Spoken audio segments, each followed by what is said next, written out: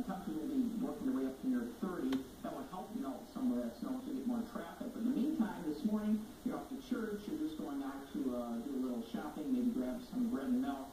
Yeah, uh, not in the best shape. So please just slow down, give yourself plenty of extra time, just take it easy, and uh, hopefully avoid any issues. In the meantime, outside right now, we're walking in a winter wonderland with our Saginaw Skycam showing uh, snow-covered roads and buildings. Uh, I just measured two inches outside our lovely Flint studio in downtown Flint with uh, good look at, well, not actually downtown, but close enough, as uh, some of the snow on ABC 12 First Alert HD Doppler radar continues to show a, a little heavier snow band from northeastern Genesee County into uh, Saginaw County and back to Midland, so uh, and also Mount Pleasant.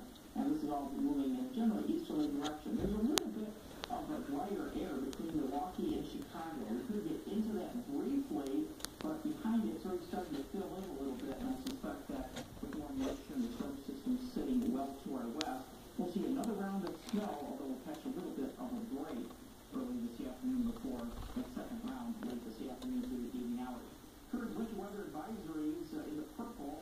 That's until 4 a.m. Monday morning, and it's a winter storm warning in the area shaded in pink, and that includes Oakland and Livingston County, northern parts of the county in that ABC viewing area. Current temperatures in the teens to low 20s, slowly rising from there, and little snowfall totals through uh, 8 o'clock this evening, running about uh, 3 to 6 inches of that overnight to early Monday morning.